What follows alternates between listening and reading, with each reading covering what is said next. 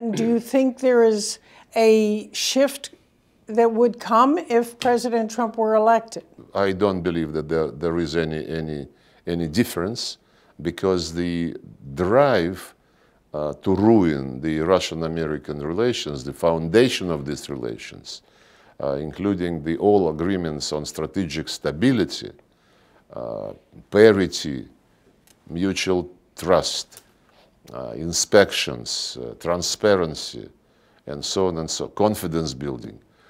All this started to be ruined by President Bush Jr.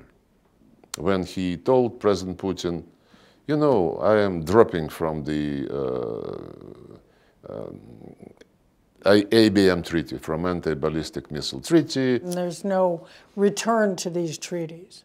Superiority complex impunity complex is getting too deep. Those who ignored huge amount of goodwill shown by Putin during his first two terms, who just said, okay, this guy is so nice, we will keep him in our pocket.